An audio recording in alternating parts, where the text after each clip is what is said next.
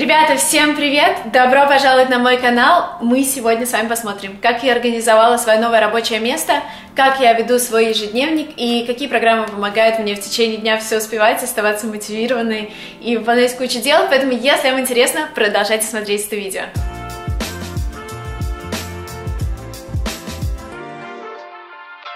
Начну с того, что у меня появилась супер крутая мотивация что-то делать. Это новый вид из окна. Из окна у меня видно здание Salesforce. Напомню, Salesforce — это CRM для малого бизнеса, для продаж, ну не только для малого, но в любом случае началось это все с нескольких человек, с небольшой компанией, которые решили автоматизировать продажи в а, маленьких бизнесах.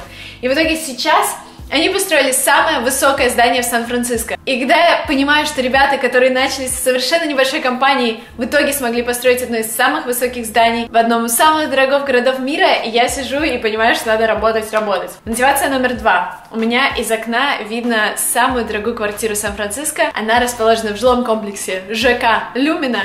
На последнем этаже это пентхаус, стоит она 40 миллионов долларов. Я надеюсь, что ее еще никто не купил, потому что стоит она пустая. Они иногда включают свет в ней, чтобы было красиво красиво, и у нее такой круговой панорамный вид на залив, и, в общем, я сижу и мотивирую, что такую квартиру тоже когда-нибудь, может быть, можно будет купить, и, конечно, еще одна мотивация это то, что здесь вокруг офисы всех самых больших компаний, то есть, если вот так вот посмотреть, можно увидеть офис Uber, где-то за мной офис Airbnb, офис Expedia, офис TripAdvisor, то есть все топовые компании здесь имеют офисы, поэтому мотивация сумасшедшая. Теперь давайте перейдем к тому, как я планирую свой день. Очень важный момент, что я до сих пор пишу очень много всего рукой, и да, я пытаюсь какие-то вещи писать в компьютере. Очень важно понимать, что не все дела вас приводят в итоге к вашей финальной цели. И когда вы записываете какое-то дело, всегда спрашивайте себе, а это меня приблизит к моей цели или нет? Либо это дело я выполняю каждую неделю, и вообще его можно заутсорсить э, какому-нибудь фрилансеру. Или, может быть, это дело вообще не стоит делать, потому что оно вообще ни к чему, я просто привык его делать. Поэтому, когда вы записываете, у вас есть возможность задать себе вопрос еще раз. И когда включается несколько органов чувств, действий, да, когда вы видите, когда записываете, у вас дело как-то больше декомпозируется на какие-то более мелкие подзадачи. Поэтому я обязательно все записываю. Давайте расскажу, как устроен ежедневник и как, например, я, я планирую свой месяц. Например, посмотрим на март. Я только начала его планировать. У меня есть раздел, который называется To-Do List. И это, соответственно, что я должна успеть сделать за месяц. Я себе здесь это поставила такими буллет-поинтами. То есть у меня цель получить визу в Англию, потому что я поездка в Лондон запланирована в июне. И, соответственно, нужно уже за март закончить процесс, потому что виза достаточно долго делает. Второй момент. У меня цель на английском канале набрать 300 тысяч подписчиков, соответственно, каждый раз, когда я буду планировать новое видео, я буду себя спрашивать, а приведет ли мне это новых подписчиков, приведет ли меня это к новой цели. И еще у меня есть цель 120 тысяч подписчиков в Инстаграме. Если хотите мне помочь ее достигнуть, подписывайтесь на Инстаграм Лингва Марина, буду вас с нетерпением там ждать. Это такие цели, которые нужны здесь для того, чтобы я каждый раз себе задавала вопросы, приведет ли мне какое-то действие к конкретной цели. Далее, есть специальный раздел, который называется трекер. Что такое трекер? Например, я хочу, чтобы какие-то действия вошли у меня в привычку, и я хочу каждый день спрашивать себя, сделаю я или нет это действие. Это йога. Я не собираюсь это делать каждый день, но я хочу, чтобы каждые 4 дня я ставила вот тут вот пометочку, тут э, от 1 до 31 стоят точечки, соответственно, точечку в тот день, когда я сделала йогу, я должна заштриховывать. Очень удобно, если что-то вы планируете делать каждый день. Соответственно, зачеркиваете каждый день эти точечки, и когда вы пропустили, это вот яркое белое пятно будет вам говорить, а-та-та-та-та, ничего ты не сделал. То есть это такой трекер, который вы используете для того, чтобы сделать что-то новое, привычку. У меня здесь также вписана а, свежая рыба. свежая рыба это я хочу покупать. У нас тут кораблик приходит, а, люди ездят ночью в океан, ловят рыбу. Я хочу вот именно оттуда рыбу взять привычку покупать. Это, во-первых, дешевле раз в 5, чем в магазинах. Во-вторых, это здоровее раз в 10, чем в магазинах, потому что рыба свежая и не с фермы, ничего. Потом я хочу играть на вот этом музыкальном инструменте. Я его только купила, в детстве много играла.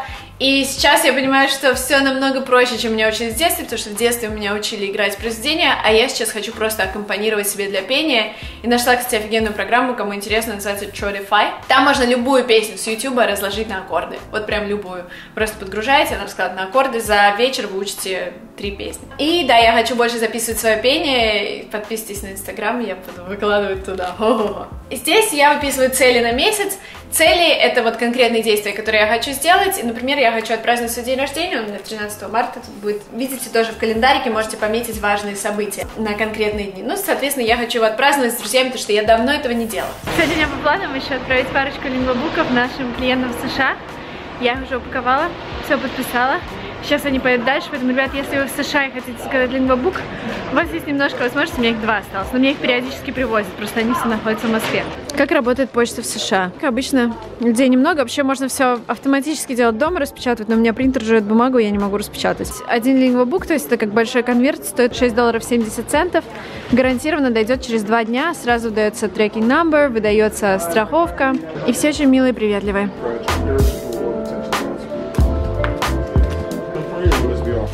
Tracking numbers can be found here as well as here. Thank you. Take care. Ты ждешь хозяина, он не выходит, ребят.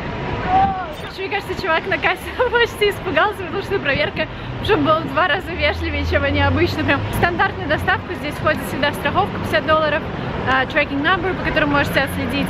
Сегодня четверг, доставят лингвобуки ребятам в субботу. Стоит, как сказала, это 6 долларов 70 центов.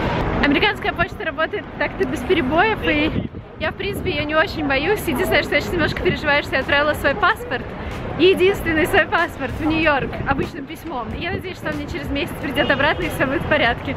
А так я из страны сейчас не могу выехать. Самый первый страх у меня пользования почты был, когда я в 2015 году должна была отправить свой диплом на эвалюацию. Мне эвалюация нужна была для университета Джонс Хопкинс.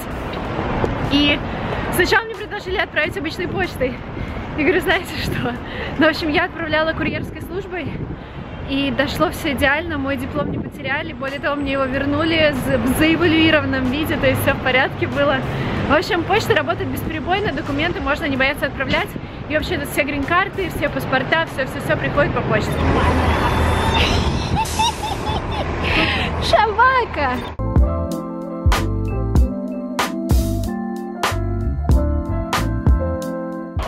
Хотела вас сводить с собой на фермерский рынок.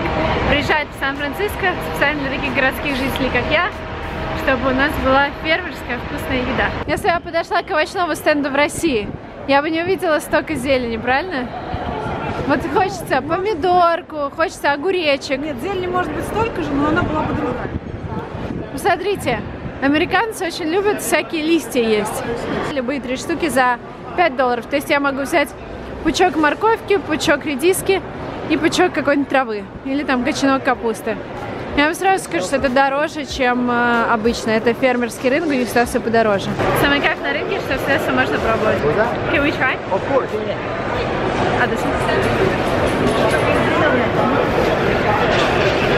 На хрустящая, но очень сладкая. Что, творожок, кефир чиз. Калифорнийский лосось. Хороший? Почти как финский. Да. За 26. Этот капитализм. Как в э, фильме из 20-х годов.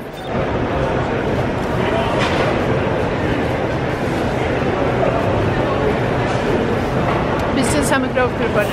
Теперь переходим непосредственно к планированию дня. Что у меня происходит в течение дня? У меня, во-первых, я подписываю какой-то день, и у меня есть задание. Я очень люблю делать задания вот такими пунктиками, квадратиками, потому что квадратики это можно сделать галочку, и галочка это самое приятное, что происходит в выполнении задания. Не то, что ты его сделал, потому что галочку поставил.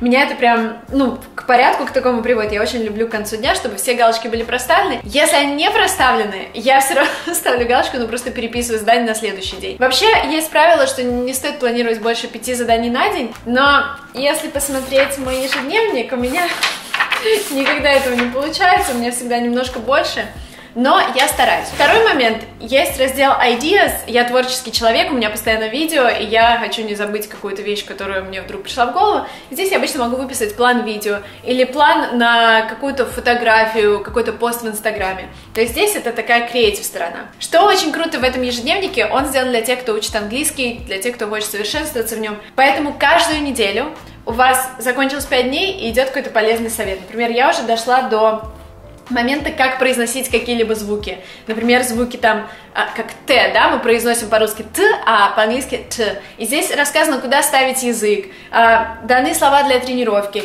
и обязательно какая-то мотивационная фразочка. Go the extra mile, it's never crowded. То есть пройдите всегда дополнительный шаг, там никогда нет людей. Ну, потому что понятно, что до цели доходят самые целеустремленные, и те, которые четко планируют свои шаги. Каждую неделю вам дается какой-то полезный совет на английском. Здесь, например, сокращение на английском, которые используются в речи. Здесь, например, страничка, на которой мы рекомендуем вам посмотреть сериалы, чтобы развить свой английский, рекомендуем какие-то каналы на YouTube и подкасты. То есть, соответственно, каждую неделю что-то супер полезное. В начале ежедневника можно посмотреть, как им пользоваться, какие мои видео посмотреть на YouTube. Есть много полезных советов от Вени и от наших ребят, которые наши блогеры, типа Бриджит, Марии, училки из Инстаграма. Вот так вот выглядит ежедневник. А, заказать можно по ссылке внизу, посмотреть по хэштегу LingvaBook в Инстаграме, как ребята им уже пользуются. Как по мне, так это лучший ежедневник, но понятно, что я его разрабатывала сама, потому что мне нужно, поэтому я его очень люблю. Давайте перейдем дальше, расскажу вам, как я организовала непосредственно свой стол. Для меня очень важно, чтобы за столом был минимализм. Соответственно, у меня два ящичка, потому что, помню, в детстве у меня было миллион ящиков, я уже забывала, что где лежит. У меня теперь правило, что если я понимаю, что мне что-то в ближайшие там три месяца будет не нужно, я, скорее всего, это выкину. У меня есть ящик, в который я положила диски Валерия Меладзе, мне недавно вернули. Далее у меня здесь лежат запасы наушников, протиралки для компьютера. И, кстати, очень удобная тема, вот такие вот коробочки красивые, если они красивые, не выкидывать, потому что в них можно складывать какую-то интерес...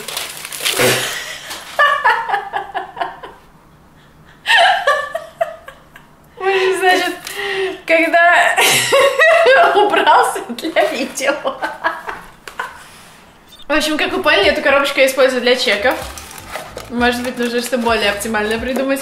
Но, в общем, коробочки не выкидывайте, особенно красивые, пусть они остаются и а, помогают вам оптимизировать место. Вот не просто накидывать все в ящик нужно, а вот складывайте в такие коробочки, и уже сразу получается оптимизация по отделам. Это безумно удобно. Второй ящик у меня чисто блогерский. Здесь лежат 5 жестких дисков. А, затем лежат волшебные коннекторы, у кого новый MacBook, тот знает. Лежат открыточки, с которыми, если вы, кстати, заказываете LingvaBook в США, у меня осталось их всего два, но мне скоро привезут новые. Если вы заказываете LingvaBook в США, вы еще получаете от меня открыточку, у меня здесь лежат открыточки. И моя веб-камера для наших с вами субботних стримов. Это все, что у меня лежит за столом, потому что за столом я концентрируюсь на том, что происходит в компьютере и происходит в лингвобуке, соответственно, у меня здесь должен быть порядок, и вот такая вот штучка у меня еще есть, это, кстати, из питерского Стокмана я привезла. Это подставка для кружки для кофе. Давайте немножко расскажу про то, чем я пользуюсь в своем компьютере. Значит, недавно узнала, что до сих пор много кто пользуется всякими email клиентами но я тоже до этого пользовалась Outlook, пока на 9 гигабайтах почты он у меня не накрылся. И я стала спрашивать ребят местных, кто чем пользуется. Оказалось, что все сидят на Gmail абсолютно, поэтому вся моя почта переадресуется в клиент Gmail, просто обычно gmail.com. Очень удобно, это всюду можно открыть. Поэтому, если у вас сейчас вопрос стоит, через что фильтровать свою почту, я все делаю через Gmail. Далее мы все еще пользуемся Trello. У нас все дела компании ведутся в разных Trello досках. Соответственно, у меня есть э, Trello доска, где я также веду свои идеи для видео, идеи для постов в Инстаграме, а, чтобы, если вдруг у меня какой-то творческий кризис, я захожу и просто выбираю что-то из списка. Я все еще, кстати, также занимаюсь на тренажере Викиум, и еще раз вам его порекомендую, кто еще не успел посмотреть мое видео про то, как я на нем занимаюсь для того, чтобы тренировать память. Там можно выбрать задание абсолютно на любой вкус, если, например, вам вы страдаете тем, что у вас отсутствие концентрации. Там очень классные задания. Если у вас проблемы в том, что вы не можете запоминать, те же самые запоминалки, опять же, в которые мы все очень любили играть в детстве, вспомните их, и когда вот у вас момент наступает, что вы уже все, уже не можете работать, и делать ничего не хочется, но понимаете, что просто лечь и там залипнуть в Инстаграме тоже не вариант, Заходите в Викиум, делаете упражнение буквально 5-10 минут, вы не представляете, насколько вот эта мышца, которая здесь находится, знаете, что мозг это мышца, которую можно тренировать, и чем старше вы становитесь, тем больше нужно тренировать, чтобы она не теряла свою пластичность, поэтому заходите на Викиум, тренируйте свой мозг хотя бы по 5-10 по минут в день. Это то, к чему я стремлюсь прийти когда-нибудь в йоге, хотя бы по 5 минут в день, сейчас пока каждые 4 дня. Но, в общем, рекомендую, ссылка будет внизу в описании, переходите, регистрируйтесь и тренируйте мозг. Сейчас, может быть, вам расскажу про супер банальное приложение, но все таблички, все документы я давно веду в Google Docs, потому что их очень удобно шарить.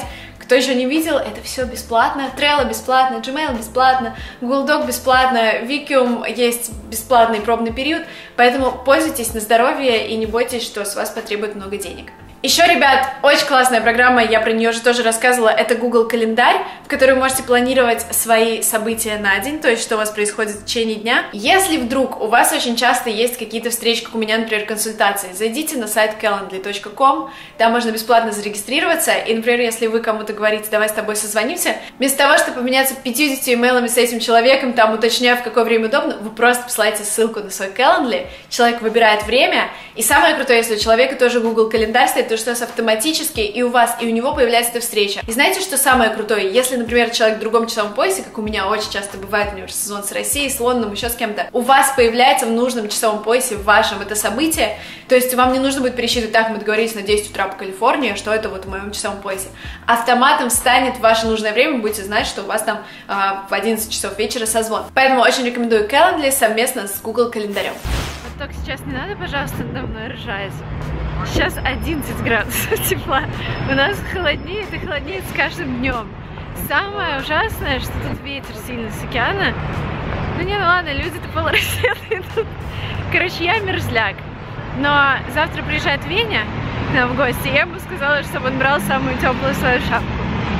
Не знаю, может он тоже давно посмеется. Но, в общем, мне прохладно. А сейчас еду в компанию Mixpanel. Вы, наверное, знаете компанию, такая аналитическая компания. Там выступают мои друзья, которые будут рассказывать, как они трекают а, своих клиентов, которые ходят у них по сайту. Для тех, кто сильно замерз, горячий шоколад. Говорит, пиво или вино? Я говорю, а камбуча есть? Он такой, только для тебя.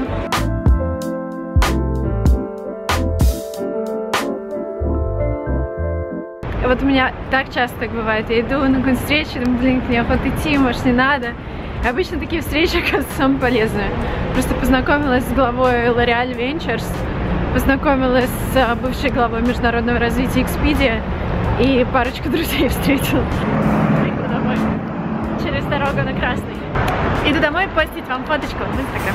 Это были все мои советы по поводу планирования дня, по поводу организации рабочего места. Пожалуйста, напишите внизу в комментариях, ваши программки, которые вам помогают оставаться сконцентрированными, смотивированными. Обязательно делитесь, мне будет очень интересно узнать, чем я могу свой вот этот вот сетап еще дополнить, улучшить. Поэтому, если вы еще не подписаны, кнопка красная внизу, обязательно подписывайтесь, ставьте лайк, если вам понравилось это видео и нравится эта тема. И мы встретимся с вами в следующих видео, и также встретимся в инстаграме. Поэтому до связи, пока-пока!